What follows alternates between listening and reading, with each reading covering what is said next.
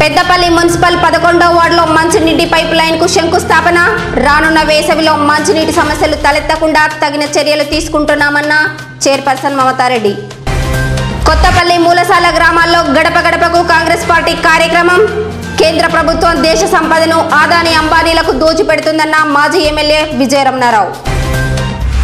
స్ఫూర్తి మానసిక దివ్యాంగుల కేంద్రంలో ఎన్ఎస్యుఐ ఆవిర్భావ దినోత్సవ వేడుకలు దివ్యాంగులకు అన్నదానం పండ్లు స్వీట్లు పంపిణీ. పెద్దపల్లి శ్రీకృష్ణ హాస్పిటల్లో ఉచిత సంతాన సాఫల్య వైద్య శిబిరం. ఐవీఎఫ్ పై అవగాహన కల్పించిన డాక్టర్ రేఖారాణి డాక్టర్ భవ్య. పెద్దపల్లి జిల్లా ఆసుపత్రిలో పండ్లు పంపిణీ చేసిన ఎన్ఎస్యుఐ నాయకులు.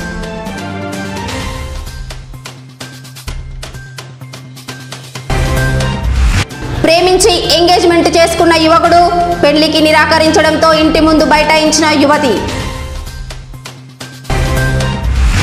అప్పన్నపేటలో mission Bhagiratha pipeline valve leak. జలమయంగా మారిన పంట పొలాలు కోతకొచ్చిన పంట నష్టపోతుందని రైతుల ఆందోళన.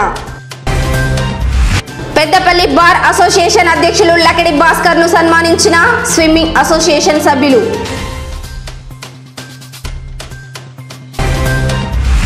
రాష్ట్ర స్థాయి సైంటిఫిక్ టెస్టులో గాయత్రి విద్యానికేతన్ విద్యార్థులకు ద్వితీయ తృతీయ స్థానాలు. విద్యార్థులను అభినందించిన అల్లంకి శ్రీనివాస్. నాగులపల్లిలో ఘనంగా పోచమ్మ తల్లి బోనాలు పాల్గొన్న మాజీ MLA Vijayaramanarao ZPTC Boddula Laxman. Senior IAS అధికారి పరికిపండ్ల నరహరిని సన్మానించిన తాడూరి శ్రీమాన్. జూలపల్లి చర్చి వద్ద బోర్వెల్ను ప్రారంభించిన జిల్లా గ్రంథాలయ సంస్థ చైర్మన్ రఘువీర్ సింగ్.